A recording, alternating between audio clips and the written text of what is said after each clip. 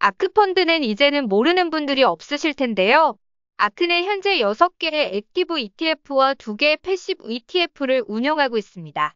캐시아크닷컴에 나온 펀드 전체 보유 종목을 보면 테슬라, 텔라닥, 스퀘어 순으로 총 273개 종목에 투자하는 것을 알 수 있습니다. 이번 영상에서는 이 많은 종목 중에서 딱 3개만 골라서 추천한 전문가들이 있어 같이 살펴보고자 합니다. 모틀리 풀에 실린 칼럼인데요. 전문가들로부터 간택된 3개의 종목은 메르카도리브레 로쿠, 로블록스입니다. 7월 13일 기준 이 세 종목이 아크 전체 펀드에서 차지하는 비중은 로쿠 3.4%, 메르카도리브레 0.4%, 로블록스 0.17%로 전체 273개 종목에서 각각 다섯 번째, 60번째, 98번째로 많이 투자하고 있습니다. 그러면 이 전문가들이 왜 해당 3개 종목을 추천하는지 알아보겠습니다. 먼저 메르카도리브레입니다. 메르카도리브레는 남아메리카의 아마존 같은 이커머스 회사인데요. 칼럼을 작성한 전문가는 핀테크에서 큰 성장 기회가 있다고 보고 있습니다. 칼럼에서는 plenty of lift. This stock to soar. 라는 표현을 썼습니다. 메르카도리브레는 남아메리카에서 은행 계좌나 신용카드 등을 이용하는 사람이 적다는 것에 착안하여 2003년부터 디지털 payment 사업을 시작했다고 합니다. 현재는 end-to-end 디지털 뱅킹 플랫폼으로 어느 정도 자리 잡아서 보험, 모바일 원래, 대출, 투자 등의 사업을 영위하고 있습니다. 우리나라를 대입해보자면 쿠팡 플러스 카카오뱅크 정도, 싱가폴로 보면 쇼피 플러스 그랩페이 정도의 회사가 메르카도 리브레입니다. 이것이 가능한 것은 메르카도 리브레가 남아메리카에서 1위 이커머스 업체이기 때문입니다. 참고로 본문에서 the leading e-commerce platform이라고 했는데요. the가 붙으면 1위인 거고요. A레딩이라고 하면 선도업체 정도로 보시면 되겠습니다. 아크는 최근에만 3천주를 추가 매수한 것으로 알려져 있습니다. 매출 추이를 보면 꾸준히 증가해 오다가 작년에 코로나 여파로 매출이 급격히 증가한 것을 확인할 수 있고요. 매출 총이익 operating profit도 작년에 다시 플러스 전환하였습니다. 제가 이용하는 타이거 플랫폼에서 제공한 fundamental 분석을 보면 의외로 growth capa에 대해서는 혹한 평가를 내렸고요. 하지만 2019년 대비해서는 나아진 모습을 보이고 있습니다. 마지막으로 아크 holding과 주가를 확인하겠습니다. 보라색 선은 아크가 보유 중인 주식 수이고 노란색 선은 메르카 도리브레의 주가입니다. 올 3월 주가가 조정을 받을 때 아크에서는 큰 폭으로 추매한 것을 확인할 수 있습니다. 두 번째 추천주는 로쿠입니다. 로쿠는 아시는 것처럼 스트리밍 비디오 업체인데요. 아크펀드에서 항상 top 10 안에 드는 주식입니다. 로쿠의 메인 수익원은 셋탑박스와 dongle에서 발생하는데요.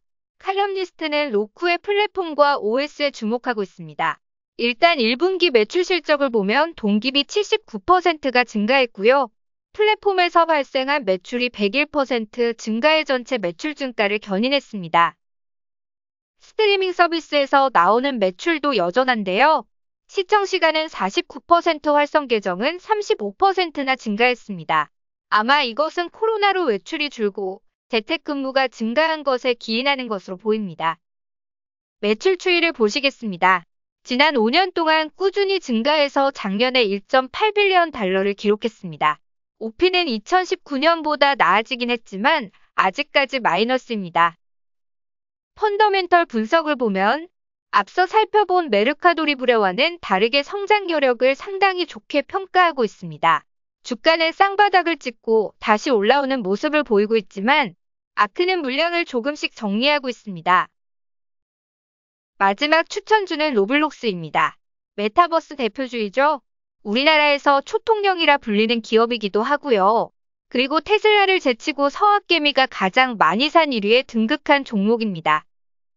메타버스는 과거 인터넷의 등장과 SNS 시대를 잇는 거대한 흐름이라고 평가받고 있습니다. user들이 직접 게임을 만들 수도 있어 즐길 수 있는 게임의 수는 거의 무한대입니다. 하루 사용자 수가 4천만 명이 넘고 게임 크리에이터 800만 명이 연간 2천만 개가 넘는 게임을 제작한다고 합니다. 앞서 말씀드렸듯이 모든 user가 게임을 만들 수가 있으니까요. 그렇기 때문에 게임의 quality는 편차가 꽤 큰 편입니다. 비디오 게임 시장은 초고속 성장을 하고 있습니다. 2027년까지 대략 6년 후에는 현재 규모의 2배 정도가 될 것으로 예상됩니다. 이런 상황이니 당연히 로블록스 매출은 증가했겠죠.